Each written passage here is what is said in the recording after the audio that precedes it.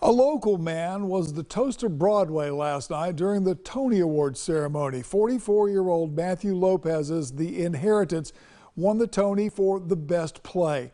Lopez was born and raised here in Panama City. He's very involved in local theater before heading up to Broadway. The Inheritance is a two-part, seven-hour epic that looks at gay life in the early 21st century. Some critics have called it the most important play written this century. Gulf Coast State College theater professor Jason Hedden is a friend of Lopez's and says his win is, is historic.